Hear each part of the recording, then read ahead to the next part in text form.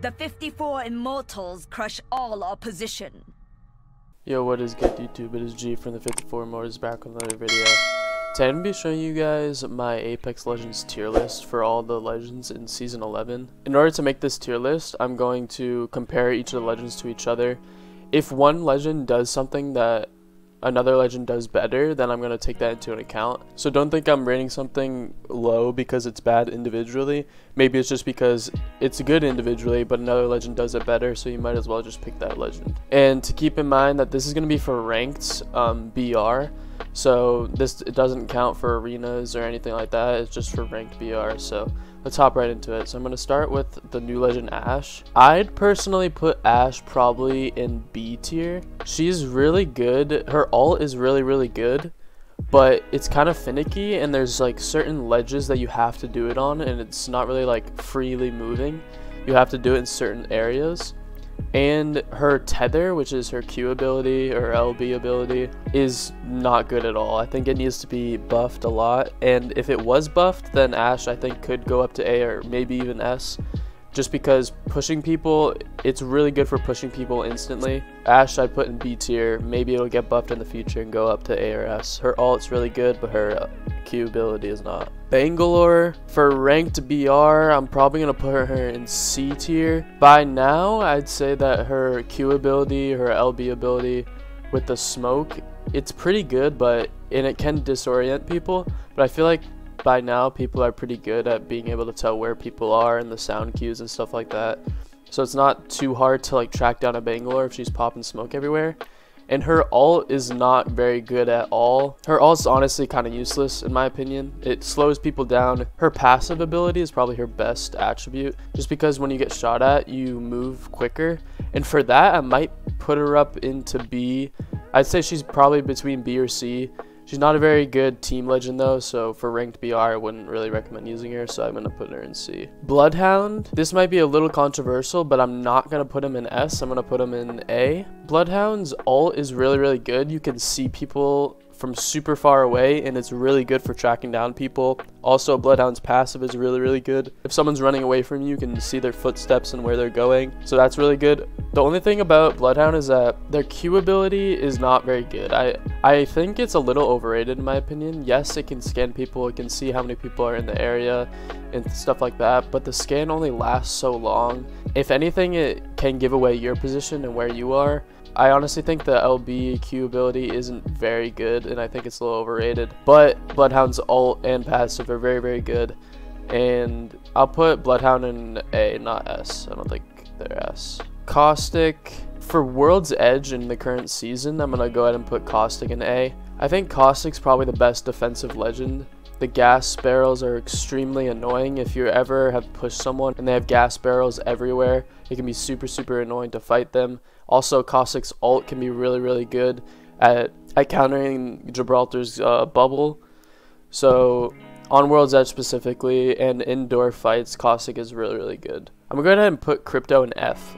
This might be a little controversial, and Crypto is getting a, a buff in the coming seasons. But the crypto drone takes you out of the fight. It, the ult on the crypto is not very good. It just does 50 damage, which I guess in reality can be good, but you can just shoot the crypto drone. And other than that, crypto really isn't that good. I don't think there's a reason why crypto isn't used very much. I also think crypto is extremely annoying. Fuse, I'd put in probably D tier. Fuse is not a very good team legend at all, I don't think.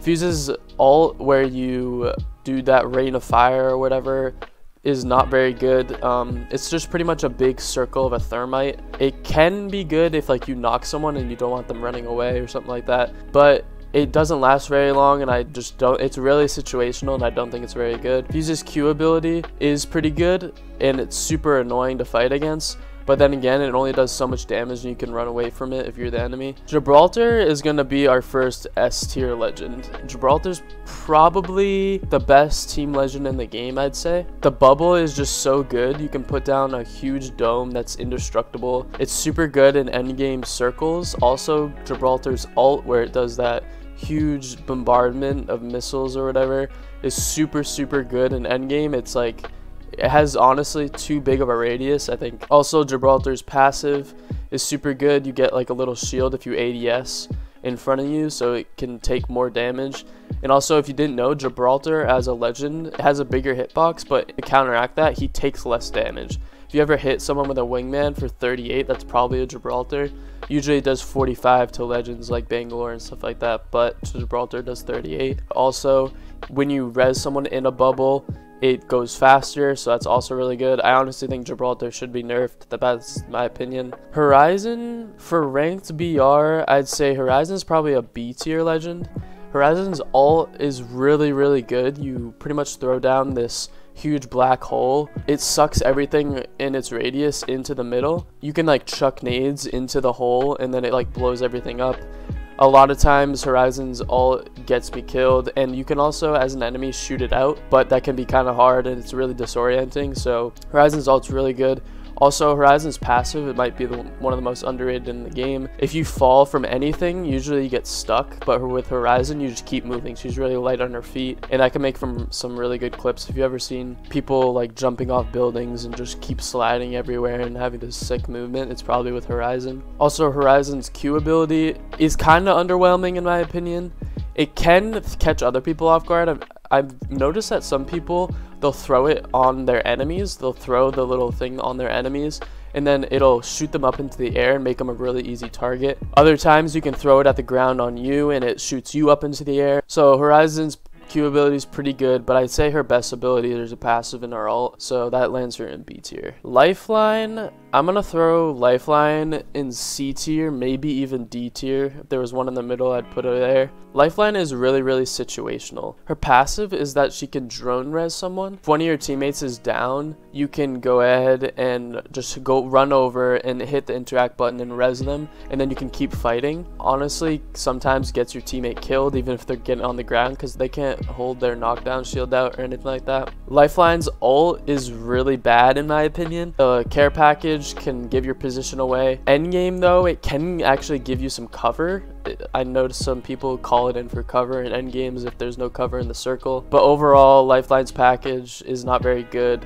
Something like Loba's Black Market is better for getting loot. Also, Lifeline's LB ability, Q ability is a healing drone. I don't think that's that good in my opinion. It just can get you targeted and it has a sound cue. You can get pushed right away. Loba, I'm going to throw in B tier. I think Loba's passive where can, she can see loot is really good for off spawn engagements. She can see like purple shields and pills super far away and she can just go grab the purple shield. Her LB ability, her Q ability, her ring that teleports her, I think is not very good. It can be good in certain situations for like getting on high ground or stuff like that. It can leave you with your guard down and get you killed a lot of times. The best part of her easily is her black market. It pretty much you throw down a black market and then in a certain radius you can get any loot you want. You can only pick two things but you can get any loot you want. And also the best thing about this is probably her ammo. She gets infinite ammo and honestly they're probably going to nerf it just because in end games and ranks you need a ton of ammo because you're pretty much just spraying everybody all the time and Loba is pretty much infinite ammo for your team. She's kind of situational though so I'd throw her in B. She might get nerfed. It could bring her down. In good situations, though, she's S. I think in endgame situations, she can be really, really good and really, really helpful for your team. Mirage, I'm going to throw in F. Personally, I think Mirage is probably the worst legend in the game. Everyone by now kind of can tell when when there's a decoy and when there's not. Pretty much every ability with Mirage is kind of underwhelming. Passive is that he can be invisible while he reses, but there's still a sound cue, and as soon as you get up, you're not invisible. So pretty much it's just kind of delaying the inevitable, in my opinion. Mirage's Q ability is that he sends one decoy out, and if an enemy shoots it, it's immediately obvious that it's a decoy, so it kind of doesn't really do anything in my opinion. And then also his ult is that he sends out like a bunch of decoys that mimic him, but there's a lot of ways that you can tell which one is which. Octane, I'd say he was S, but with the nerfs, I'd say he's probably A tier. I'd say Octane's probably just a better Ash. Usually people compare Ash to Wraith just because it's like the portal type thing, but I think Ash has that one-way portal that you can't go back through and it doesn't last very long, stuff like that. Octane's kind of the same thing, it's just not instant. But I'd say Octane's better than Ash just because Octane's Q ability where you take damage but you can have a speed boost is really, really good. Also, Octane's passive health regen is really, really good. You pretty much don't need to carry any syringes around. They nerfed his pad, they made it a lot louder, and it doesn't go as far. They also nerfed his health regen. So before the nerf, he was S, but now I'd say he's A. He's still a really good legend. Pathfinder, I'd say Pathfinder, if you know how to use Pathfinder, he's probably A or B.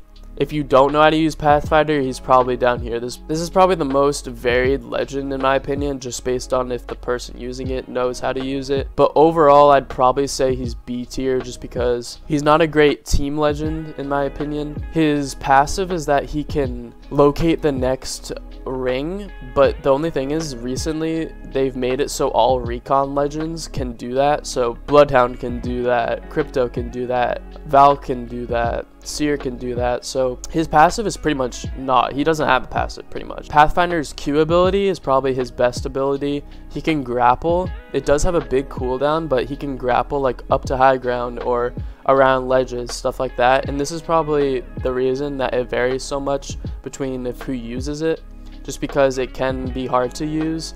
But if you do know how to use it, you can throw your enemies off guard and you can get big speed boosts and stuff like that. His ult is that he throws down a zip line, which can also be very good.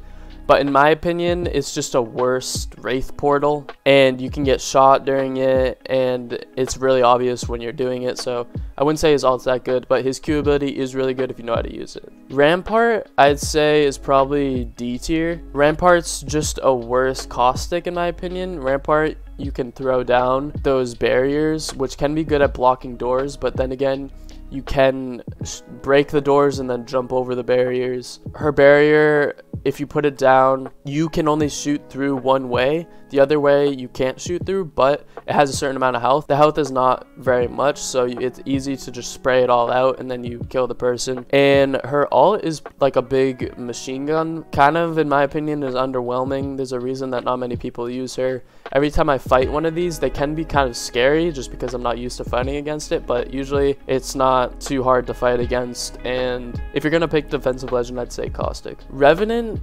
ranked BR, I'd say Revenant's probably either, either B or C tier. Um, I'm going to throw Revenant in C tier. Revenant's alt's probably one of the best in the game, to be honest. His death totem can be super annoying. And if combined with an Octane pad or an Ash portal or something like that, it can be super annoying to fight against. It pretty much gives you an extra life. Once you hit the death totem, and then you go fight someone and you die, you spawn back in the death totem. So he pretty much gives you an extra life. His Q ability is not very good in my opinion. It shuts down everybody else's abilities. So if you're an Octane, you're trying to run away, a Revenant Qs you, you can't stim anymore, which can be good, but I think it's very situational, not very good. Also, Revenant's passive is that you can pretty much climb any height distance. There's pretty much no limit there is a limit, but there's pretty much no limit to it uh, in actual situations. So, so yeah, I'd put Revenant in C tier. Seer, I'd say, is probably also C tier. When Seer first came out, he was probably one of the best legends in the game. His LB ability would stop all healing, do damage, you could see them through walls, see how much health they have. But they nerfed it a lot, and he's not very good anymore. I'd say he's probably just a worse Bloodhound.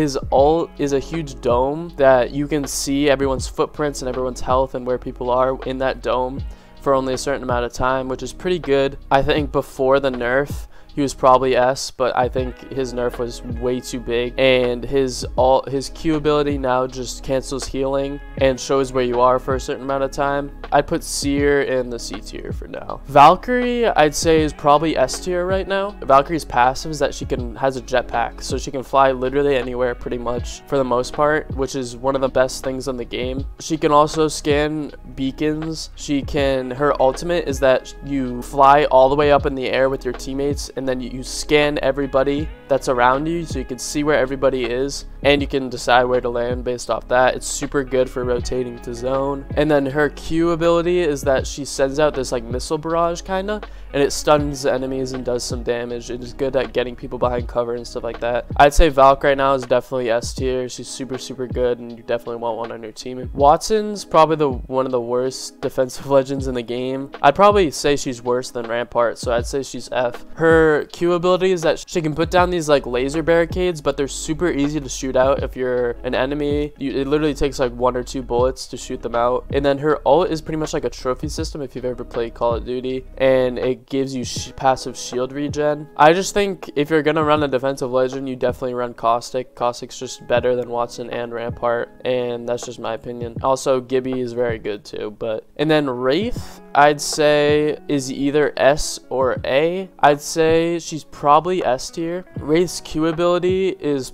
in my opinion, probably the best in the game. She pretty much goes into like another dimension for a certain amount of time and you get a speed boost and you can't, you're invincible pretty much. So you can run from fights if you're in a bad situation. Also, her alt is very good. You can portal. So you, this is good for like kidnapping people. If you're in a bad situation, you can portal out and all your teammates can hit it. If you're in the portal, you're invincible. It is obvious to enemies if you're hitting her Q ability or hitting the portal, like where you're going, but you're invincible and you can see them while you're in those abilities as well. So you can kind of plan what you're going to do after you exit those abilities. Also, her passive is it, it tells you when people are aiming at you, which is super, super good if you're just like running along, looting, doing whatever. And then an uh, audio cue tells you that you're being aimed at or something like that you can act accordingly or get a, get into cover, do anything like that. So you know someone's looking at you, you know someone's there. So yeah, that is my final list when it comes to Apex Legends in Season 11 for Ranked BR. If you guys like the video, go ahead and like and subscribe and check out other videos. I'll see you guys in the next one.